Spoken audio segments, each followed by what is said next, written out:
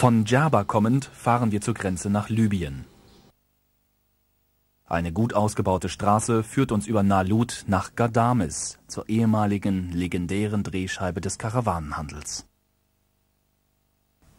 Es folgt eine mehrtägige Reise durch eine faszinierende Wüste. Von Gard aus, dem Zentrum der Tuareg, besichtigen wir Felszeichnungen und den Mandara-See.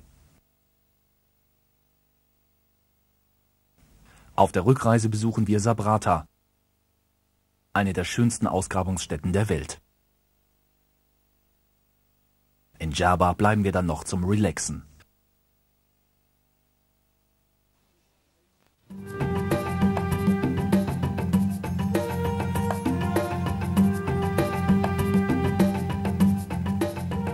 Auf unserer Reise durch die libysche Sahara werden wir begleitet von einer Gruppe Endurofahrern.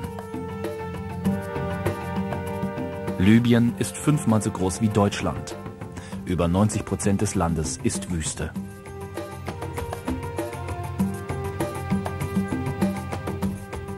Hier in Nalut bekommen wir den ersten Eindruck der Ursprünglichkeit.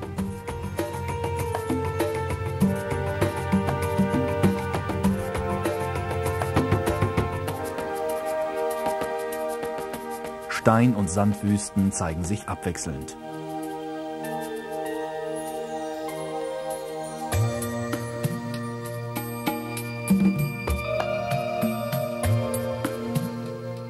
Autowracks säumen die Straße. Wir wollen nach Gadames, zur ehemaligen legendären Drehscheibe des Karawanenhandels. Die verlassene Altstadt steht unter Schutz der UNESCO.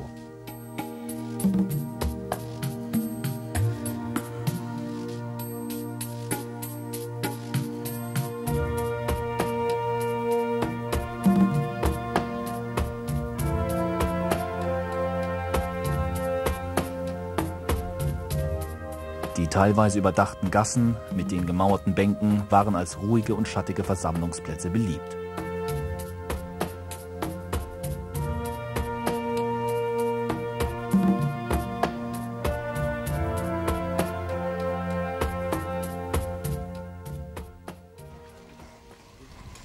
Heute beginnt eine mehrtägige Reise durch das Wüstenzentrum. Mohammed, unser Führer, hat eine sehenswerte Route ausgewählt.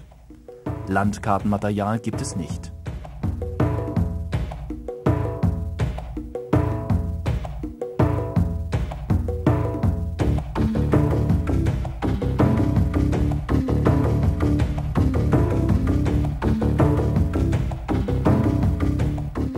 Das Gelände ist gut zu befahren und wechselt jetzt stetig.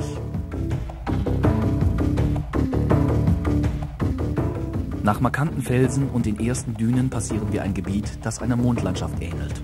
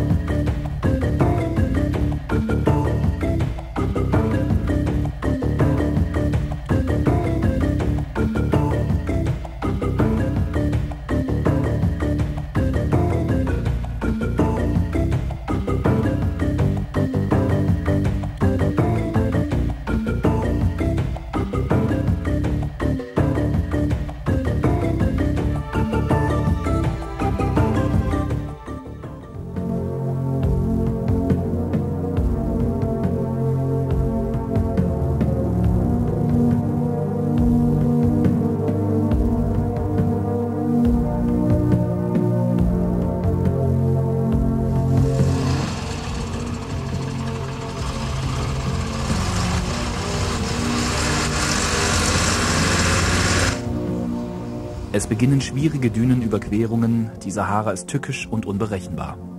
Doch unser Fahrzeug ist bestens ausgerüstet.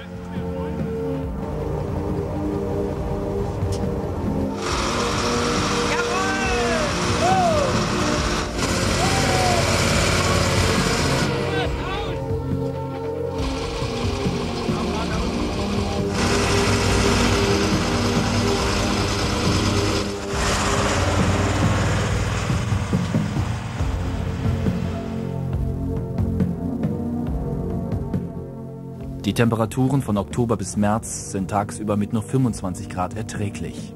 Sonst erreichen die Temperaturen 55 Grad.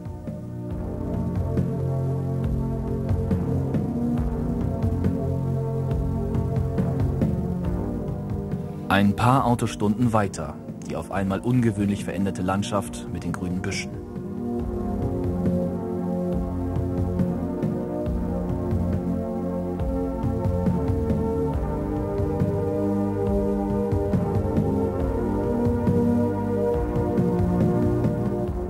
Immer wieder ein Erlebnis. Das Betrachten des Sonnenuntergangs in der Wüste Sahara.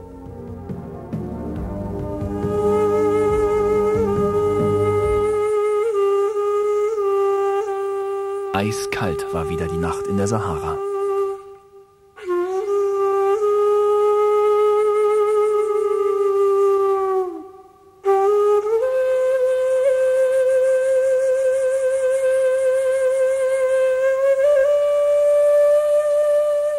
Ein Naturschatz mitten in der Wüste. Wasser. Ein Brunnen mit Pumpe ist vorhanden. Hier lässt sich endlich wieder einmal verschwenderisch Körperpflege betreiben.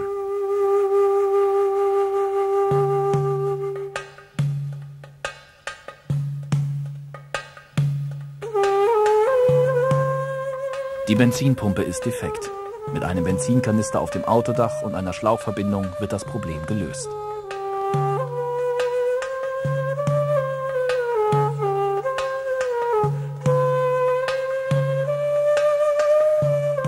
Man stelle sich vor, wir befinden uns mitten in der trockenen, wasserlosen Sahara. Kein Baum, kein Strauch, kein Grashalm, kein Tier. Nicht einmal ein Insekt.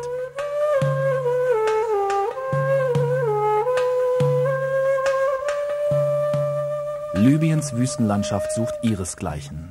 Goldgelbe Dünenkämme, endlos bis zum Horizont. Ein unvergesslich schönes Erlebnis.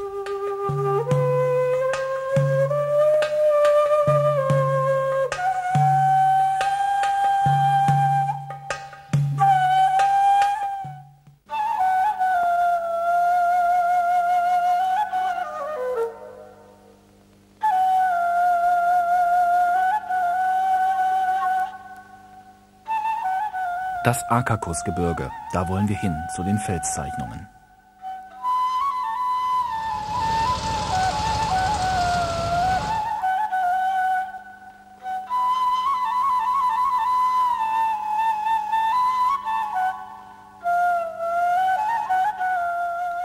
Gard, die einzige Oase im Südwesten Libyens, das Zentrum der Tuareg in dieser Region. Es scheint, als wäre es eine Reise in die Vergangenheit. Die verschachtelte Altstadt mit ihren Lehmbauten ist vom Verfall bedroht. Das Mauerwerk ist der zerstörerischen Kraft salzhaltiger Feuchtigkeit ausgesetzt.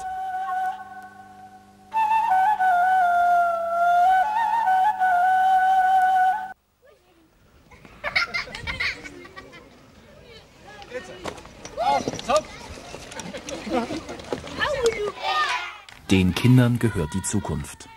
Vor der Revolution konnte nur jeder zehnte Libyer lesen und schreiben. Heute geht jedes Kind zur Schule, auch alle Mädchen.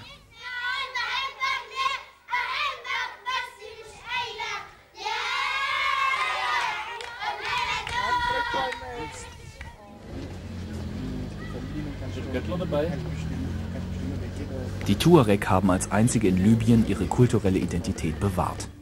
Die Frauen gehen unverschleiert, deren Männer sind gezwungen, sich zu verschleiern.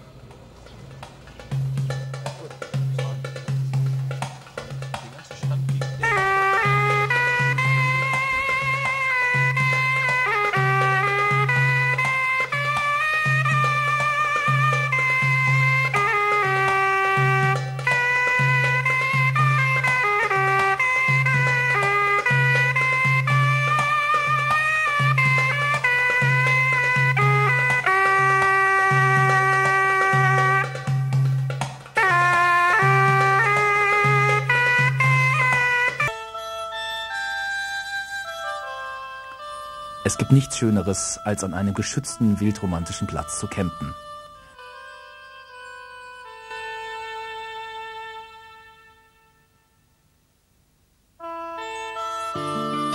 Hier gab es ausreichend Holz fürs abendliche Lagerfeuer.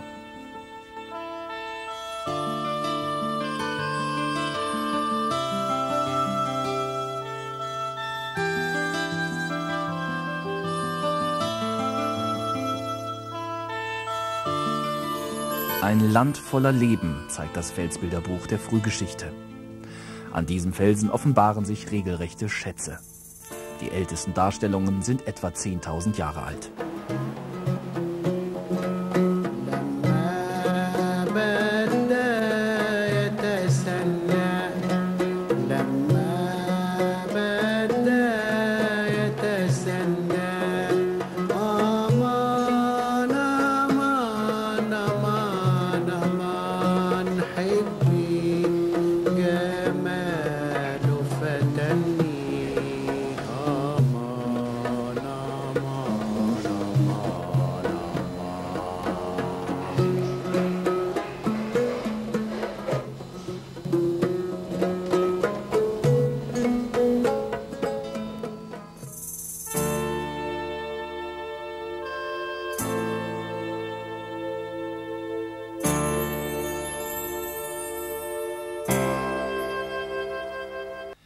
Die Bäckereien haben nur ein kleines Verkaufsfenster.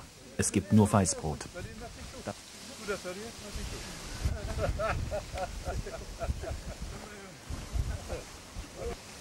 Das Lebensmittelangebot ist überall zufriedenstellend. Alkohol und Schweinefleisch fehlen gänzlich. Die Auswahl von Obst und Gemüse schwankt von Ort zu Ort.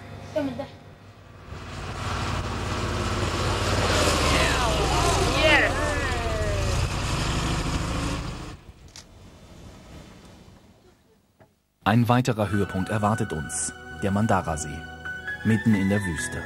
Ein Naturwunder.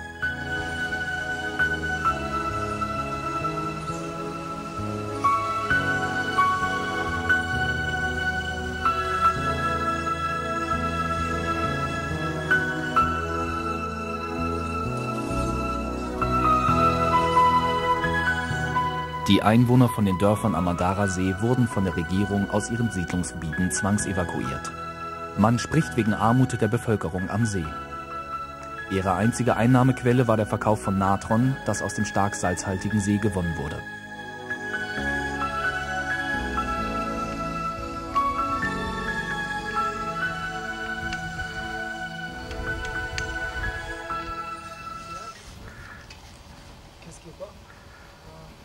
Ein Tuareg bot uns Silberschmuck als Souvenir an.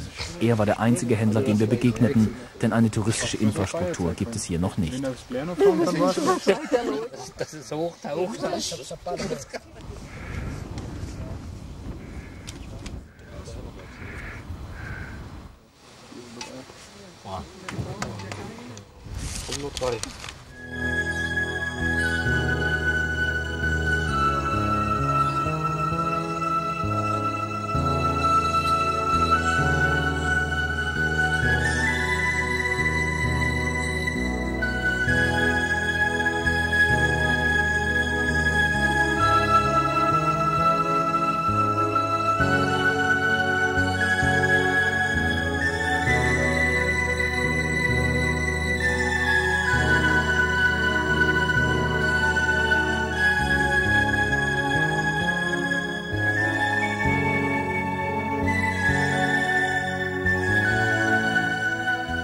Hier gibt es noch mehrere Seen, ihre genaue Zahl und Lage ist auch heute noch nicht bekannt.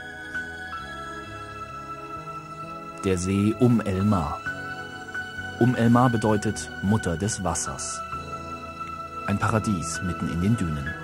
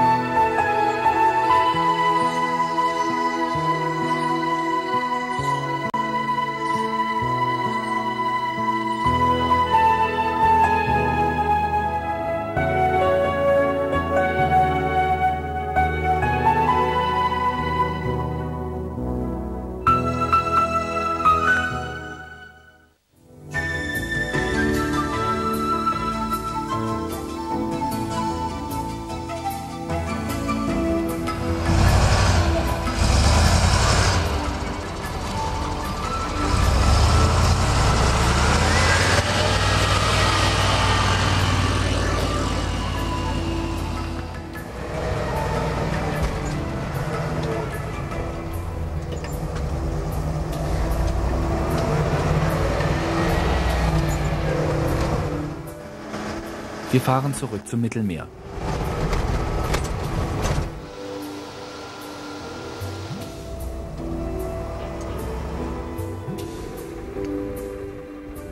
Langsam weicht die Wildnis dem zarten Grün. Nur drei Prozent des Landes kann landwirtschaftlich genutzt werden.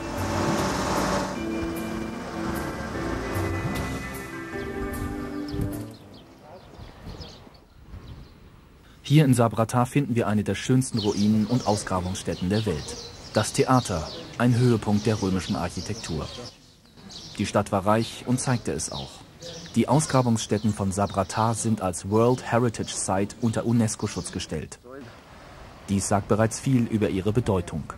Trotzdem finden noch recht wenige Besucher hierher.